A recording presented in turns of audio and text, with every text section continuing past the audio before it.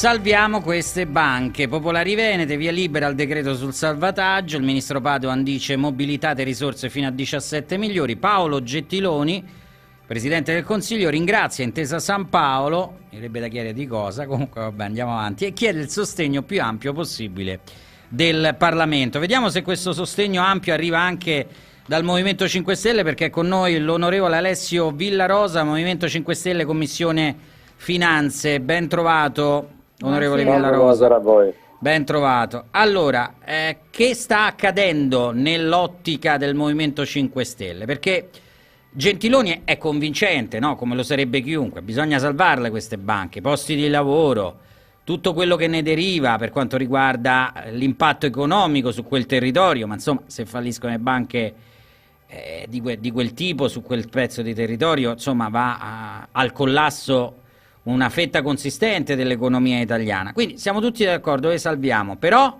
qual è il vostro punto di vista, Villarosa? Guardi, convincente mi spiace dirlo, ma per chi non ha potuto seguire in questi tre anni le vicende delle due Venete. Quindi sono giustificato io, Villarosa. no, perché guardi, sì. in questi tre, tre anni che noi chiediamo, da tre anni chiediamo un intervento sulle due Venete, probabilmente lei ha avuto un lapsus prima, ha parlato di 17 milioni, forse perché è veramente difficile. 17 miliardi, ha ragione, 17, 17 miliardi. miliardi. perché è una cifra così enorme con, quale, con, con, la quale potremmo farci reddito di cittadinanza che non, eh, non si riesce neanche a dire. Questi 17 miliardi probabilmente tre anni fa potevano essere 10 quindi diciamo che questi tre anni di perdita, questi tre anni di tempo perso hanno fatto aumentare il costo per i cittadini di 7 miliardi. Non c'è dubbio che un intervento sulle Venete andava sicuramente fatto, ma quello che vorrei comunicare ai cittadini è che quella che chiamano una liquidazione coatta amministrativa di queste Venete in realtà non lo è, mm. perché lei sa bene che quando una, una banca, un'impresa viene liquidata in maniera coatta amministrativa non viene aiutato dallo Stato con 17 miliardi. Allora aspetti, no, aspetti, aspetti, aspetti, perché queste sono eh, vicende mh, da, da, un punto di vista eh, giornalistico anche semplici da comunicare, però complesse. Lei mi sta dicendo, come la stampa oggi scrive, tutta la stampa, il decreto legge con le disposizioni urgenti per la liquidazione coatta amministrativa di Banca esatto. Popolare di Vicenza. Lei sostiene però che in realtà questo decreto non contiene questa liquidazione coatta amministrativa. Eh è una liquidazione coatta con i soldi dello Stato. Di solito la liquidazione coatta si, fanno, si, fa con i soldi dell'azienda che viene liquidata, invece in questo caso si fa con l'aiuto dello Stato che ripulisce una banca da tutte le porcherie che ha fatto in questi anni, perché ricordiamo che diverse procure stanno indagando sulle due Venete e stanno indagando perché a quanto pare erogavano quei famosi mutui baciati vietati dal codice civile articolo 2357, ovvero ti do un mutuo solo se compri le azioni e queste imprese venete oggi, quelle azioni con, decreto, con questo decreto, le perderanno tutte perché comunque perderanno tutto il valore gli azionisti. Quindi eh, questo decreto in realtà, camuffato come una liquidazione quarta amministrativa, serve per non far fallire la banca, dichiarare la bancarotta fraudolenta e arrestare i colpevoli di questo sfacelo. Questo è quello che noi abbiamo capito. Potevamo nazionalizzare, mettere un euro noi e non intesa, farlo tre anni fa e portare, come hanno fatto per esempio in Inghilterra e in tanti altri paesi, eh, in dieci anni con un giusto piano industriale, senza perdere soldi, visto che i soldi li stiamo mettendo noi in questa operazione, eh, di nuovo queste banche... Cioè le, le risorse potevano essere usate per nazionalizzare, questo lei dice? Tre anni fa, tra l'altro, quando l'abbiamo detto noi, come con MTS due anni fa però purtroppo... Perché eh... si sceglie secondo lei questa strada? Perché qui non è soltanto una diversità tecnica di vedute, è una scelta politica, no? Lei, di, lei Villarosa è un tecnico, nel senso eh, che in Parlamento... Ma, anche un politico, ma è anche un politico, quindi la sua scelta tecnica, politiche. esatto, la sua scelta tecnica deriva anche da un ragionamento politico. Però il governo esatto. ne fa un altro, fa un'altra scelta tecnica, che è quello del decreto che lei contesta nella dicitura della liquidazione coatta, che deriva però da una scelta politica diversa da sua. Secondo lei questa scelta da che cosa deri deriva, da quale visione? Guardi, una sicuramente quella che ho detto prima, condivisa anche dal giudice Pier Camillo Davigo che dice anche lui che queste banche non le fanno fallire perché probabilmente poi bisognerà dichiarare la bancarotta fraudolenta e quindi mandare in galera gli amministratori. Un altro motivo è perché eh, c'è un accentramento bancario, eh, un, eh, una voglia di prendersi il mercato, di dare il mercato in mano a pochi attori. Questo è già avvenuto in America, basta vedere l'andamento del mercato bancario negli ultimi 30 anni, ora in mano a 5-6 banche ed è una politica che in vari stati, spinti dal capitalismo, eh, sta prendendo piede. Tra l'altro in questo decreto c'è un comma, mi sembra all'articolo 3 o 4, nel quale viene proprio derogata la normativa sulla concentrazione, appunto sul eh, monopolio nel settore bancario. Mm. Proprio perché questa acquisizione delle Venete su Intesa creerebbe un mostro enorme. Ricordiamo che Intesa è la seconda banca dopo Unicredit in Italia e con Ubi vanno più del 70% del mercato. Quindi è un decreto che secondo me aiuta solo alcuni e mette in ginocchio molti. Gli obbligazionisti prenderanno l'80% come al solito, non prenderanno tutto, anche se sono stati truffati. Gli azionisti, quelle imprese di cui parlavo prima, perderanno i loro soldi, le filiali verranno chiuse, migliaia di dipendenti verranno comunque messi in mezzo alla strada. Quindi se voi mi dite che questo è un decreto valido e utile per il Paese, io cambio mestiere. Però siamo d'accordo, onorevole Villarosa, sul fatto che i risparmiatori comunque vadano salvati, cioè perlomeno I loro...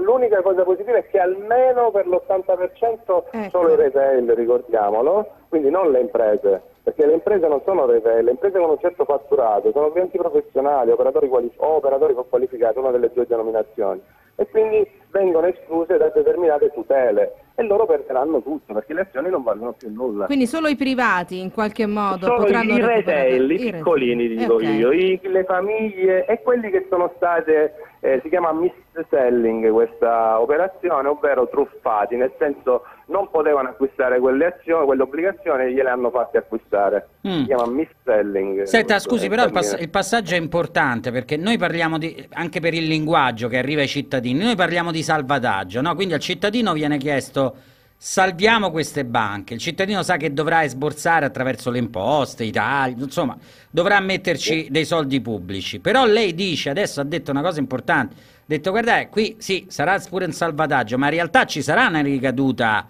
comunque eh, occupazionale, occupazionale e tutto. E già è stato dichiarato, ma poi anche mm. le, la vecchia Etruria, Banca Marche, Carichieti, quando il Premier parlava e diceva ho salvato i risparmiatori, i correntisti, i correntisti non, erano già esclusi dal burden sharing, quell'operazione che hanno messo sì. in piedi eh, quella volta sulle quattro banche e il, eh, migliaia di dipendenti sono finiti in mezzo alla strada e centinaia di filiali sono state chiuse. Perché è ovvio, se acquisisce un'altra banca, in quel caso UBI a un euro, poi farà un piano industriale che prevederà sicuramente una riduzione, non potrà prendersi tutto l'organico. E tutto questo d'accordo col governo che va in giro a giro a salvare i posti di lavoro. Cioè, tutto sommato per intesa, negli... se, senta, per intesa è un buon affare, quindi tutto è sommato. È un affarone per intesa, lo farei io con i soldi dello Stato anche perché gli diamo pure i soldi per evitare che quando comprino questa azienda, questa banca, il loro, il famoso CET1, quel parametro che Banca eh, Centrale Europea usa per dire questa banca è buona, questa banca è cattiva, non subirà contraccolpi. A questo serve. Quindi lo Stato non è, non è intesa che acquista, è lo Stato che dà i soldi a intesa per poter acquistare. E non sono aiuti. Ecco. i crediti, le garanzie le mette sul, sui crediti deteriorati, che chissà cosa c'è là dentro, le mette lo Stato quindi è un'operazione tutta a vincere per Intesa che prenderà filiali, territorio, clienti. E perché, e non consider- perché, non vengono considerati a tutti gli effetti aiuti di Stato? Anche l'Europa eh, ha dato l'ok a questo tipo di... L'ok ancora deve arrivare, perché nel decreto si prevede, il decreto che è uscito ieri, eh, prevede il comma 2 proprio un ok della mm. comunità europea, quindi ancora c'è da discuterne in comunità, mm. in DG la commissione sulla competizione che si occupa mm. di questi decreti ma tra l'altro anche, ancora dobbiamo affrontarlo in Parlamento, ci sarà una pregiudiziale di costituzionalità, sarà, hanno la forza, lo sappiamo, però ancora gli, gli scanini sono tanti. Mm. Senta, e tutte quelle aziende invece che ha citato il, ministro, il primo ministro Gentiloni no, rispetto insomma, al tessuto aziendale che è la forza no, nel, del nord-est, lei dice le aziende non potranno Guardi, avere tes- una tutela. Il tessuto, avevano il tessuto imprenditoriale, le grandi aziende, gli facevano comprare le azioni. Le azioni hanno perso tutto. E questo lo dobbiamo capire. Qua parliamo di aver salvato gli obbligazionisti subordinati. Bene, Villa Rosa, io la ringrazio per il contributo perché è stato molto molto interessante e ovviamente poi ognuno si farà un'idea per, per, conto suo, però eh, sa, a volte c'è una gran cassa mediatica che ci dice sal- salvataggio, eccetera, eccetera. Io ho cercato questa prospettiva con lei anche per, per capire cosa sta realmente accadendo. Io sono preoccupato in generale, questa è l'ultima eh, proprio, perché eh, al di là della vicenda Popolari Venete, eh, qui secondo me c'è una criticità economica generale del Paese che affiora di volta in volta, ma che affiora inesorabilmente Villa Rosa. Adesso senza creare allarmismi. Sono preoccupato anche io. Però questi... Non creiamo allarmismi, ma bisogna lavorare tanto. Queste sono delle, delle, febbri alte che, che, sì. che affiorano. Nel... È fondamentale il tessuto bancario. Molti cittadini purtroppo non lo capiscono, ma è tutto, perché lì ci sono i soldi di tutti e servono per far girare l'economia. E se salta quello rischia di saltare ogni settore. Quindi bisogna far passare questo messaggio e bisogna metterci più attenzione eh, quando si fa un investimento, quando si controlla una banca, quando si fanno le leggi, bisogna mettere più deterrenza perché determinati reati devono pagarli e chi li commette lì deve pagare perché mm. c'è stato un suicidio, si ricorda a Civitavecchia sì, quattro no, banche, no. ma c'è tanta gente che non arriva al suicidio perché è un gesto estremo ma è disperata, distrutta, che non è risparmiato no, no, vita certo, e gli è sono... rovinato gli, gli ultimi 20 anni, 30 anni di vita, cioè non, non credo che sia, questa gente debba pagare seriamente. Onorevole, l'atteggiamento parlamentare che prima invocava Gentiloni, il più ampio possibile, da parte vostra quale sarà? Guardi, l'unica nota positiva, glielo dico, eh, è la, la questione dell'SGA. Finalmente i crediti deteriorati, queste sofferenze, era una proposta che abbiamo anche noi nel programma, verranno gestiti internamente, quindi non si vendono al 17%, cioè a niente come fatto con le quattro banche, ma si cerca di recuperare il più possibile. Noi cercheremo, ripeto, di far arrivare il rimborso a chi è stato truffato al 100%, far capire che si può arrivare in maniera differente anche una nazionalizzazione senza questo partner, perché come hanno ribaltato le regole iniziali che lo Stato non poteva intervenire, oggi sta intervenendo, quindi saranno due mesi, di, due mesi di grande battaglia, ma ricordiamo ai cittadini che questo decreto scadrà il 24 agosto, quindi noi dal 10 al, 15, al 24 agosto per 15 giorni non ci potremo lavorare. Quindi anche questo devono sapere. Lavoreremo 45 giorni, due camere su questo decreto. Grazie, grazie Villarosa, grazie, grazie Alessio Villarosa, Movimento 5 Stelle, Commissione Finanza.